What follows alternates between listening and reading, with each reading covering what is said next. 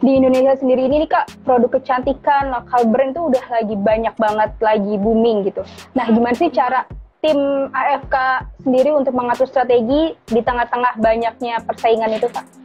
Ya, yang pasti kalau dari uh, tim dari AFK sendiri itu selalu berusaha untuk tetap eksis ya di berbagai platform karena sekarang kan uh, sosial media itu berkembangnya sangat cepat ya kita juga eksis di Instagram juga lalu kita juga ada uh, websitenya kita juga ad, di e-commerce juga kita ada terus juga kita ada di TikTok juga Facebook dan juga kita sekarang sedang uh, membuka juga peluang untuk kemitraan reseller dan keagengan jadi benar-benar intinya memanfaatkan uh, segala peluang yang ada sih.